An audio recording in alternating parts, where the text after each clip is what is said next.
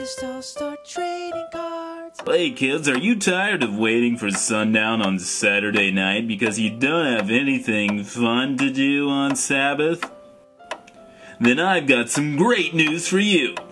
Adventist All-Star Trading Cards! Yes!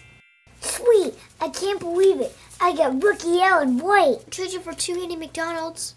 I don't know. Did he ever have prophetic visions? Adventist All-Star Trading Boys! Cards. You know you're not supposed to be playing with trading cards on the Sabbath?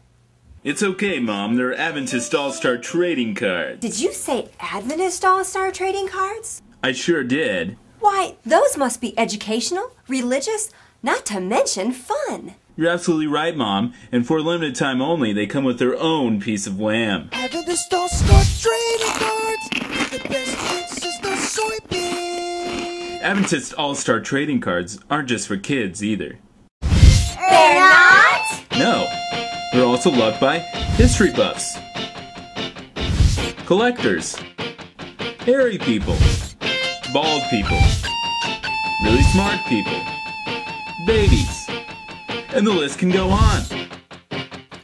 Wait a minute. With all this value, these cards must cost a fortune. No, Mom, that's where you're wrong.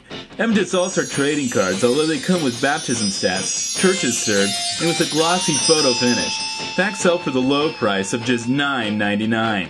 Does that include the wham? It wouldn't be Adventist All-Star Trading Cards without them. Adventist All-Star Trading Cards in no way guarantee that your children will make it into heaven.